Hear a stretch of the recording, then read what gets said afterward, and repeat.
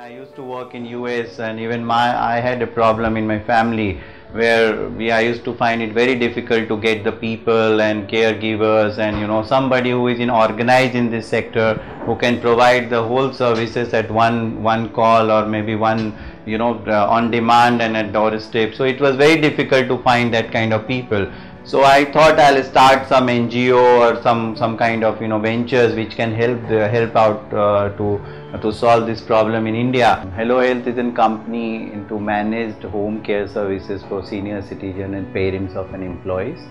who are away from their parent due to the work location. Hello Health is basically the people-centric model and where the people has to go at home and provide these services. So training is the paramount uh, concern where we have to do this training to the people.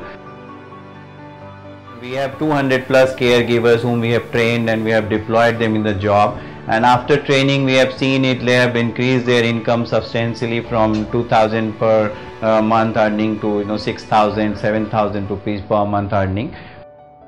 we want to reach as far as number of cities as possible and train almost 8 to 10,000 caregivers um, uh, in our training program to make them as an entrepreneur and run this business in the in the remotest of area possible.